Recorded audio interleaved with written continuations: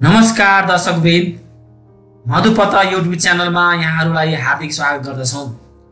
हामीले भिडियोको दोस्रो भागमा नेपालका प्रथम प्रधानमन्त्री तथा राष्ट्रिय विभूति भीमसेन थापाको बारेमा संक्षिप्त जानकारी प्रस्तुत गरेका थियौँ।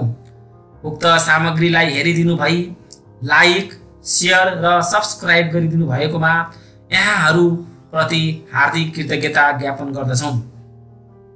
यसै गरी आज प्रस्तुत हुन गइरहेको भिडियोलाई पनि अन्तिमसम्म हेरिदिनु भई लाइक सेयर र सब्सक्राइब गरिदिनु हुन अनुरोध गर्दछौँ। दर्शकवृन्द अहिले पुरै विश्व कोभिड नाइन्टिनको महामारीले आक्रान्त रहेको छ। पहिलो पटक सन् दुई हजार उन्नाइस डिसेम्बर एकतिसमा चिनको वुहान सहरको मासु बजारमा एकजना महिलामा निमोनियाको जस्तो लक्षण देखा परेको थियो। रोगको अनुसन्धान पश्चात चिनिया अधिकारीहरूले दुई हजार बिसको जनवरी सातमा कोरोना भाइरस भएको पहिचान गरेपछि यसलाई अस्थायी रूपमा two zero one nine dash nCoV अर्थात् नोबेल कोरोना भनियो भने दुई हजार बिस फेब्रुअरी एघारमा विश्व स्वास्थ्य सङ्गठनले सिओभिआइडी ड्यास वान नाइनको नाम घोषणा गर्यो। जसको पुरा नाम corona virus disease of two zero one nine हुन्छ। चिनबाट पहिचान भएको यस भाइरसले जब अमेरिका र युरोपमा तबाह तबाह मचायो अमेरिकाका तत्कालीन राष्ट्रपति डोनाल्ड ट्रम्पले चाइनिज भाइरसको संज्ञा दिँदै चिन समक्ष व्यङ्गपूर्ण आक्रोश समेत पोखेका थिए। हुन पनि मानव आफैले आफैलाई नियन्त्रण गर्न निर्देशन गर्न अत्याधुनिक रोबोटको सिर्जना गरिरहेको छ। मृत्युबाट बचाउन उच्चतम प्रविधिको आविष्कार गरिरहेको छ। मानिसलाई मङ्गल ग्रहसम्म पुग्ने चमत्कारिक विज्ञानको उच्चतम विकास गरिरहेको छ। तर आज कोरोना भाइरसको सामु नतमस्तक हुनुपर्ने अवस्थामा विश्व जगत विवश भएको छ। जसरी कोरोना भाइरसको पहिलो लपेटामा अमेरिका र पुरै युरोप परेको थियो आज दोस्रो लहरबाट भारतलाई धेरै नै ग्रस्त बनाएको छ। खोला सीमाको कारण नेपाल पनि बिस्तारै अनियन्त्रित बाटोतर्फ गइरहेको छ। जसरी अमेरिका र युरोपमा भेन्टिलेटर तथा स्वास्थ्य सामग्रीको अभावमा मानिसहरूको अकाल मृत्यु भइरहेको अस्पतालहरूमा बेड नपाएको स्वास्थ्यकर्मीहरू अनवरत खटिरहेको सबको व्यवस्थापन गर्न जग्गा समेत नपाएको सबैतिर मृत्यु र बिछोड अनि श्रद्धाञ्जलीका शोक र कोलाहलले संसारभरिका समाचार पत्रहरू र अनलाइनका समाचार माध्यमहरू सामाजिक सञ्जालले भरिरहेका छन्। आज भारत लगायत दक्षिण एसियाली देशहरू यसको चपेटामा परिरहेको छ। भारतको अवस्था त यति भयावह देखिन्छ कि मृत शरीरको अन्तिम दाह संस्कार गर्न समेत लाम लगाउनु परिरहेको छ। जलाइएका शवहरूले पुरै सहरलाई प्रदूषित बनाइरहेको छ। लाखौँ घाइतेहरूले अस्पतालहरू स्वास्थ्य चौकीहरू भरिएको अस्पतालहरूमा अक्सिजनको अभावमा दैनिक हजारौँको मृत्यु भइरहेको ती सबहरूको व्यवस्थापनमा जिउँदा आम मानिसहरूको भागदौड भइरहेको हजारौँ एम्बुलेन्सहरूका कर्कट साइरनले एकदम प्रतिकूल डरलाग्दो अवस्था सिर्जना भइरहेको छ। दर्दनापूर्ण अवस्थाको चित्रण गर्दै गोला बारुद अनि सैनिकहरू बिनाको यो नै अन्तिम युद्ध हो कि भन्ने अनुभूति भएको कुरा एकजना बिबिसीका पत्रकारले केही दिन अघि विश्लेषण गरेका थिए।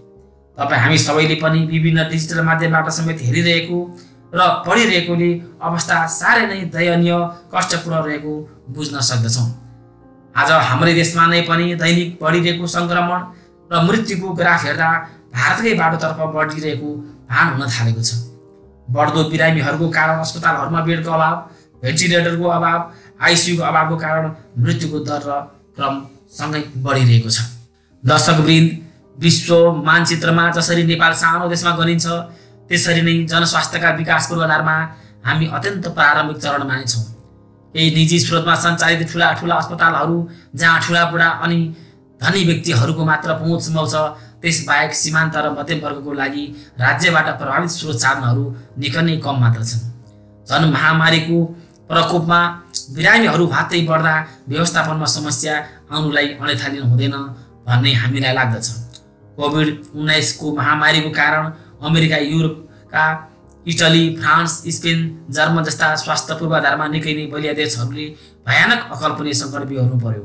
भारत जसले आजभन्दा सोह्र वर्ष अगाडि स्वास्थ्य क्षेत्रमा आफूलाई आत्मनिर्भर घोषणा गर्दै विदेशी सहयोगलाई बन्द गर्ने निर्णय गरेको थियो तर उक्त निर्णय आज आएर उल्टाउन बाध्य भएको छ।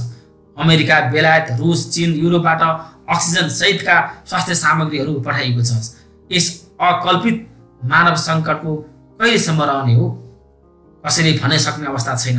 अझ कोरोना भाइरसको फरक भेरिएन्टको कारण यसलाई रोकथाम गर्न प्रयोगमा ल्याइएको खोपको समेत कतिको काम गर्ने हो होइन स्वयं वैज्ञानिकहरू समेत चिन्तित छन्। अनि अहिले संसारमा जे जति खोपहरू उत्पादन भइरहेका छन् त्यसको झन्डै पचासी प्रतिशत खोप अमेरिका लगायत धनी राष्ट्रहरूले कब्जामा राखेका छन्। यसले महामारीको लागि सबै एकजुट हुनुपर्दछ र सबैलाई बराबर सेवा पुर्याउनु पर्दछ भन्ने मान्यता खण्डित भएको छ।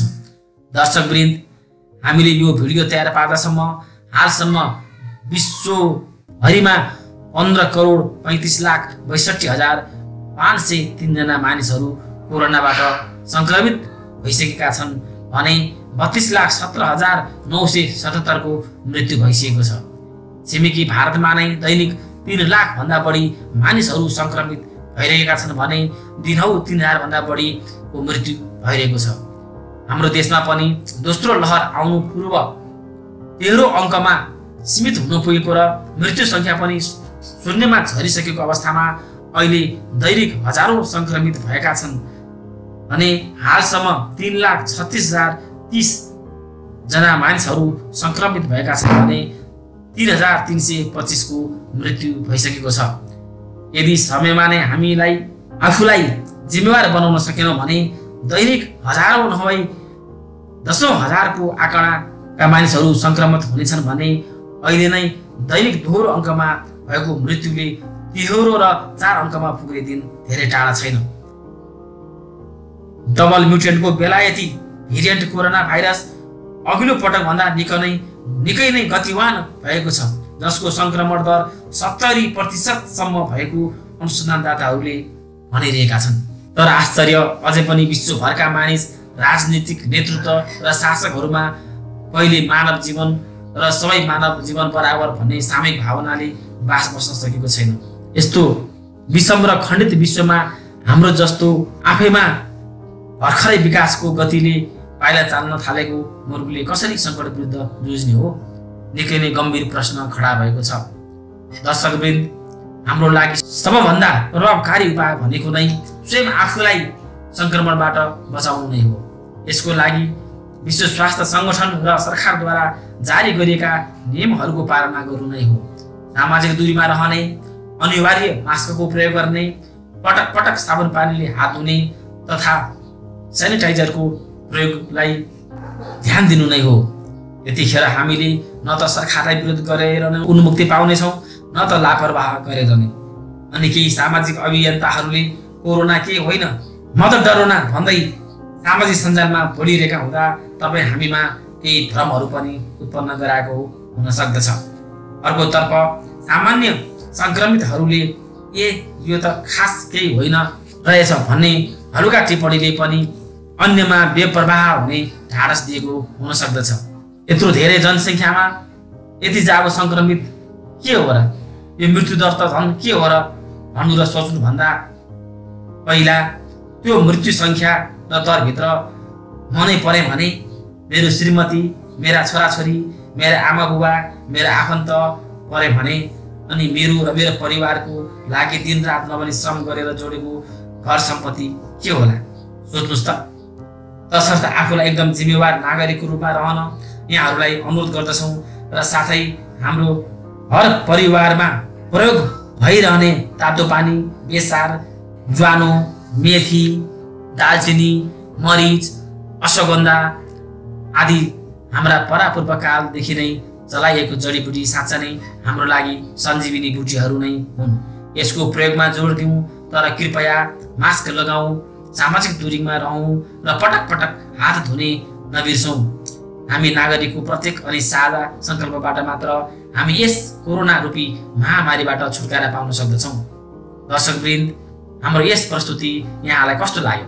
कमेन्ट सेयर लाइक अनि सब्सक्राइब गरिदिनुहुन अनुरोध गर्दछौँ। हस्तु